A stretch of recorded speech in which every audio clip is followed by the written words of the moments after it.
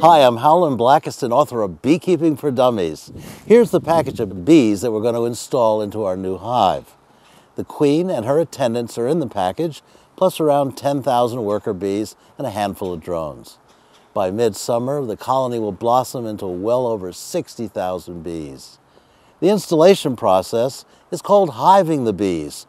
You'll want to hive your bees in the late afternoon on the day you receive them, or certainly not more than a few days after they arrive.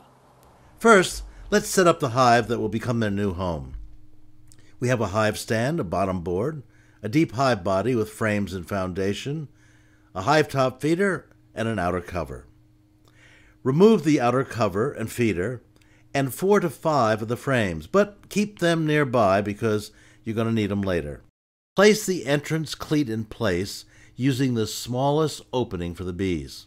Spray your bees moderately with sugar syrup. Now don't drown them, but give them a, a decent spraying. The syrup not only makes a tasty treat, but the sticky stuff makes it much harder for the bees to fly. Using your hive tool, pry the wood cover off the package. Pull out the staples and keep the wood cover handy. You're going to need it again. Jar the package down sharply on the bottom so your bees fall to the floor of the package. Don't worry, it doesn't hurt them. Remove the feeding can and the queen cage and loosely replace the wood cover to keep the bees in the package. Have a look at the queen cage. Look for the queen. Wait, there she is. I ordered a mark queen, so that dot painted on her thorax makes her really easy to spot. Find the end of the queen cage with a white fondant candy. If there's a cork at that candy end, remove it so that you can see the candy in the hole. If the candy is missing, here's where that mini marshmallow comes in. Plug the hole with the marshmallow. Don't let that queen escape. Take two small nails that have been bent at right angles to fashion a hanging bracket for the queen cage. Frame nails do fine. Be sure to apply these nails to the candy end of the cage. Now hang the queen cage, candy side up, between the frame that is closest to the open area and the frame next to it. The screen side of the cage can face towards the front or the rear of the hive, it doesn't matter. Now's a good time to put on your veil. Gloves aren't really necessary, but you can wear them if you feel more comfortable. Spray your bees lightly one last time. Jar the package down and toss away the cover. You're done with it. Okay, here comes the fun.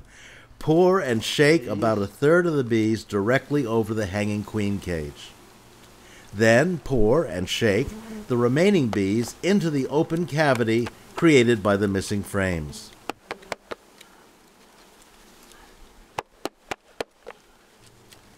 Gently replace all but one of the missing frames. That extra frame will be installed a week later when you remove the empty queen cage allowing the space for this frame.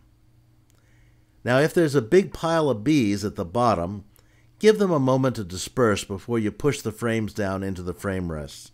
You don't want to crush any of those little girls. The hive top feeder is placed on top of the hive body without any inner cover in between. Now fill the feeder with sugar syrup and place the outer cover on top of the hive top feeder. That's it. You're done. Take a breath and leave everything alone for one week. Remember, no peeking. The bees may kill the queen if they're disturbed before she's been released from the cage and the colony has become accustomed to her pheromone scent. Congratulations, you are now officially a beekeeper. You'll find more about this topic in the current edition of Beekeeping for Dummies.